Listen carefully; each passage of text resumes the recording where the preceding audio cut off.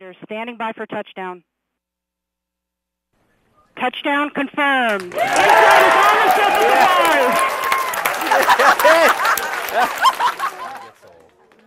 Con el objetivo de conocer el corazón de Marte, aterrizó con éxito sobre la superficie marciana el módulo InSight, la primera misión de la NASA que quiere estudiar específicamente el interior y la composición del planeta rojo.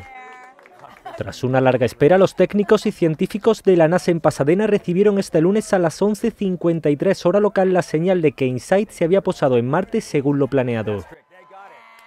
El módulo no solo superó con nota su aterrizaje que involucraba un proceso combinado de paracaídas y retrocohetes, sino que envió casi de inmediato su primera fotografía desde Marte que llegó a la sala de control de la NASA a las 11.58 hora local.